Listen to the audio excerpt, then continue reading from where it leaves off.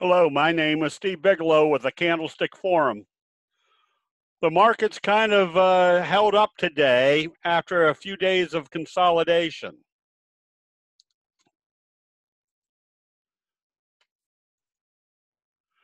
The Dow opened lower. We expected some profit taking consolidation based upon the weak signals over the last uh, uh, two weeks of trading and you can see how the stochastics were heading down. Not very hard selling, which meant it was more profit taking. Today, when it opened lower, there was a good possibility they could take it down. However, with them closing the index, the Dow back up above the T line, that gives you a good indication that the probabilities are this was profit taking. Maybe we're in wave heading for the next wave.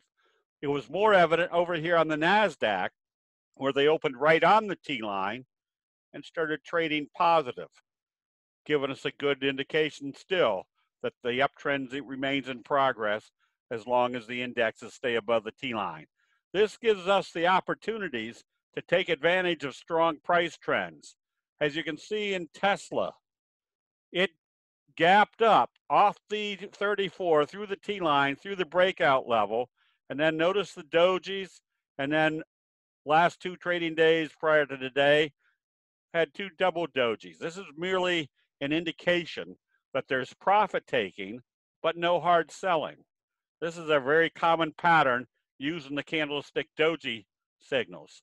It's telling you there's pullback indecisively, which means if they open up positive, there's going to be another strong day, just like the day prior to that break or to those uh, doji days. So we can have the opportunity, knowing that the market is heading positive, even though it's maybe very slow, to find out the find the breakout patterns. Plug has been a very good trade for us. Strong price move after the breakout. J hook pattern, still in an uptrend. Domo was one of our recent recommendations because it did a best friend signal breaking out through this level.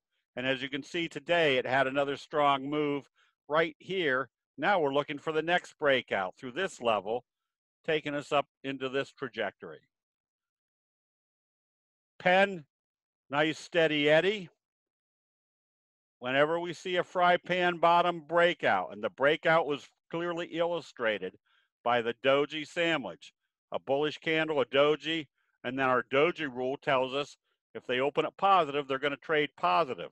If they're going to trade positive, it's usually the same magnitude as that candle or better, which means the fry pan bottom resistance level is not acting as resistance.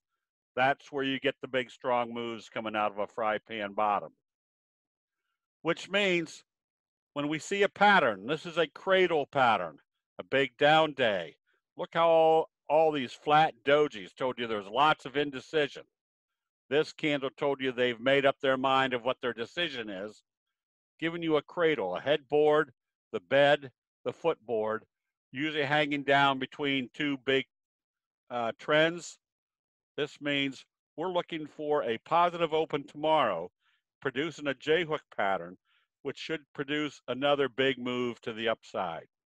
This just allows us to be prepared for the next expectation of a price pattern move coming out of a pattern that we recognize. The cradle pattern usually creates very strong upside uh, trades. Same scenario on our recommendation this afternoon on S, F SLY. Look at your cradle pattern. Big down day, flat uh, bed, and then the uh, footboard telling you the next move should be at least back up to this level you add the prospects of being in the oversold area and it's forming right smack dab on the 50 gives you that much more credibility that the bulls are taking control at least to head up to fill the gap at this level. If the dow opens positive tomorrow giving you a j-hook pattern in the dow with the nasdaq trading above the t line the s&p 500 trading above the t line and the transportation index trading above the T line.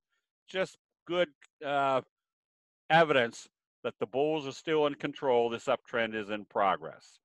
That'll be it. We'll see you in the chat rooms.